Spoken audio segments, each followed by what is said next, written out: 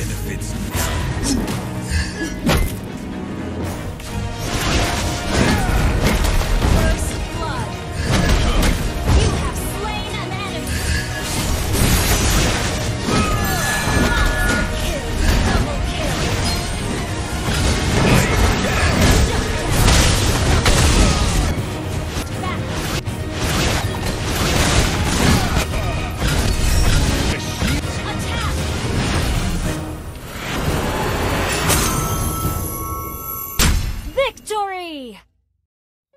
Hey guys, in this video I'm going to show you one of the best tanks you can use, Tigreal.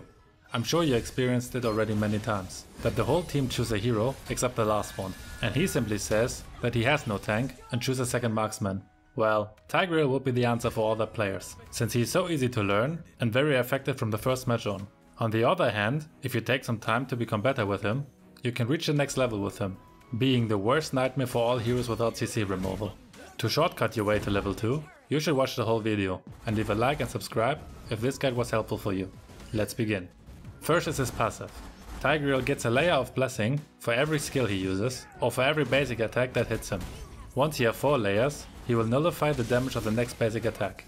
This effect triggers on turret damage as well, what is very useful when you tank the turret for your teammates. Next is his first skill.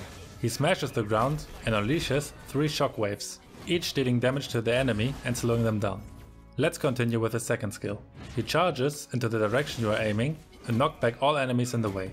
If you use that skill again, he knocks up the enemy. I really love this skill. It's so simple, but can be so effective. More to that later. Let's talk before about this ultimate. Tigreal pulls all enemies to himself and stun them. With this skill you can stun the whole enemy team if you're good, and basically win the gank for your team before it even started.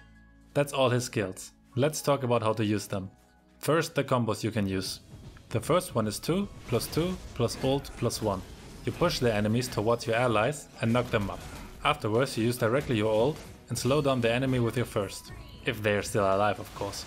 Ideally your allies finish them already by now. This is my favorite combo, because once you engage and pushes the enemies where you want it, you stun them twice without moving them, but makes it easier for your allies to attack the enemy. On the downside, it's less surprising than the next combo. Ult plus 2 plus 2 plus 1. For that, you should use almost all the time the famous flicker trick. You use your ult and directly flicker to teleport to your enemies. Once you stun them, you push them into a good spot, where your teammates can finish them off. You should use that combo from a bush of course. A real man never hides in the bush. Yes, he does, because it's a smart thing to do. Your enemies will be more surprised by this combo than the first. But the downside is, when you push them, you could accidentally dodge the skill of your teammates for the enemy, what could result in a comeback for the enemy. So be careful where to push the enemy. These are the two best combos you can use in my opinion. But there's more to know about his skills than just combos. You can use the first phase of his skill to push enemies away and save your low teammates. After you've done this, run, so you're not giving your enemy a free kill. But don't use Flicker to escape. This counts not only for Tigreal, but for all tanks. Flicker has such a long cooldown that in the most situations, it's better to die than using it. Save it, so you have it available when you want to do the next awesome engage, and destroy the whole enemy team. For more general tips like this, check out my tank guide. It's a good complement for this guide I think.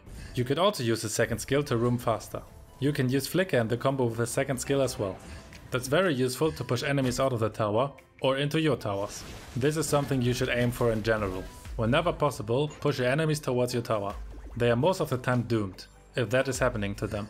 To use your ultimate the most effective, you need the right timing. When the enemies are close together, it's a perfect time to use it. You shouldn't aim it only at the squishy ones. This skill is more about the number of enemies you can catch I believe. If you want to aim at the squishy enemies, use your second skill. Your first skill is very good to poke the enemy constantly. The damage is quite low of course, but over time, you deal some significant damage to the enemy. That in the end can make the difference in between a dead enemy or one that escapes with 1 HP. And as a last tip, you should level up his second skill on level 1. You can use it to stun the enemy twice and give your core directly the upper hand over your enemy. Maybe you even manage to push them into your tower. Now you know how to play him. Let's continue with his spells, emblem and build. His spell is obvious. It should be Flicker. Even when you're not a fan of the Flicker ult trick, using it together with a second skill is very simple but also very effective. You could maybe think of using Petrify, but in my opinion, Flicker is the way better option. Again, it's obviously the tank emblem. but you could argue about the configuration of it. All talents are a viable option. I prefer Brave Smite as talent. You get some of your HP back, that can make the difference in surviving and dying. Sub-talents I like Inspire for cooldown reduction and Vitality for more HP. But you could use any other talents as well. Share your emblem set in the comments. Now let's talk about his build. I will quickly explain you the items you should use and in the end show you the full build. For boots you have three options. Warrior boots when your enemy deals more physical damage, tough boots when more magical damage, and rapid boots for faster rotation. You can choose which one you like the most. Next is either the courage mask or the shadow mask. The courage mask gives you and your team a nice buff for a gank. And the shadow mask conceals you and your teammates, which is very nice for engaging into a gank. Again, choose your favorite. Next are the core items for Tigreal. Dominance Ice decreases the enemy's movement and attack speed, what is awesome for any gank. It also increases your physical defense, increases your mana and gives you a bit movement speed. Next is Antique Cuirass. It reduces the enemy's physical attack when they are attacking you. It gives you also HP, HP regeneration and more physical defense. Another great item for ganks. If your enemy deals a lot of magical damage, especially when they have a one-shot mage, you should use Athena's shield. It reduces the magical damage you take and gives you more HP, magic defense and some HP regeneration.